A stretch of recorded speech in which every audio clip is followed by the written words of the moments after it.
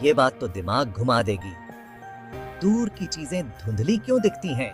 ये सब मायोपिया का खेल है।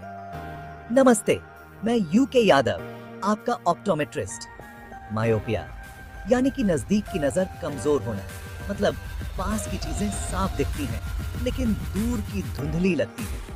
ये बहुत आम बात है, घबराने की ज़रूरत नहीं। तो ये होता क्यों है?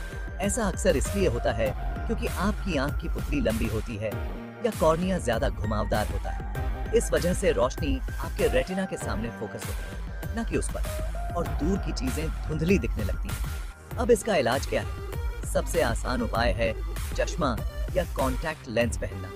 दोनों ही रोशनी को सीधे आपके रेटिना पर फोकस करने में मदद करते हैं। बिल्कुल आसान, है ना? कुछ मामलों में आपका ऑप्टोमेट्रिस्ट आपको लेजर सर्जरी या खास तरह के कॉन्टैक्ट लेंस सजेस्ट कर सकता है, जो धीरे धीरे आपके कॉर्निया को सही शेप देते हैं। याद रखें, आँखों की नियमित जाँच बहुत ज़रूरी है।